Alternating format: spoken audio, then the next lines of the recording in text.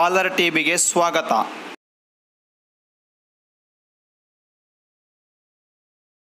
ಕ್ರಾಂತಿಕಾರಿ ಭಗತ್ ಸಿಂಗ್ ಜನ್ಮದಿನಾಚರಣೆಯ ಶುಭಾಶಯಗಳು.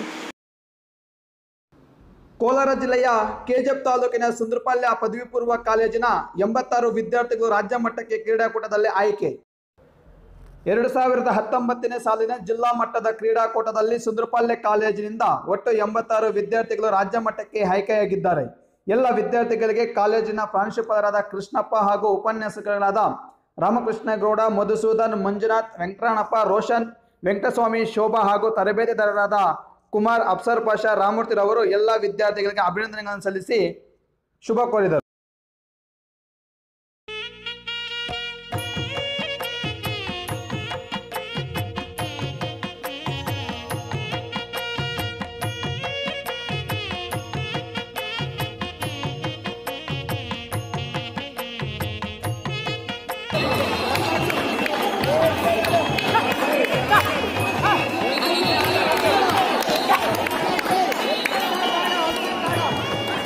Oke, ni.